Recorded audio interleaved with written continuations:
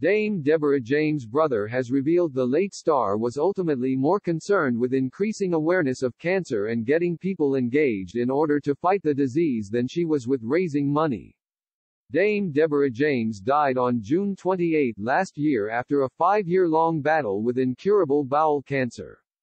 The presenter, who died surrounded by her friends and family at the age of 40, raised millions for cancer charities in her final days, and her brother has now opened up about her lasting legacy. Dame Deborah used her voice on the BBC podcast You, Me and the Big C, as well as on her Instagram at Bowelbabe to raise awareness for the disease. A BBC Sounds Live special, You, Me and the Big C, Putting the Can in Cancer, has since been recorded to pay tribute to the late icon. In it, her brother Benjamin James spoke about how Dame Deborah cared more about the number of people she was touching with her cancer awareness campaign than the amount of money she raised for charity. He said, she just had this vision of wanting to give more people more time, through doing something good and using her platform to raise as much money, as much engagement, as much awareness, as she could. We were all focused on that first 1 million pounds that was publicized but I remember Debs turning around and saying now, there, is almost 330,000 individual donations, he recalled. I think her view is all about the numbers, engage, and she was reading the comments from so and so whether it's one pound or 100,000 pounds.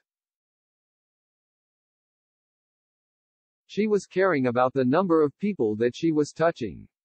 And I think she kind of just brought home that it was about the engagement, not kind of, you know, the exact number. The Stars Bowelbabe Fund for Cancer Research UK has raised more than £7.5 million online. Before her death, she also succeeded in launching a clothing line and writing Amazon number one bestseller How to Live When You Could Be Dead, which has continued to bring in funds from sales.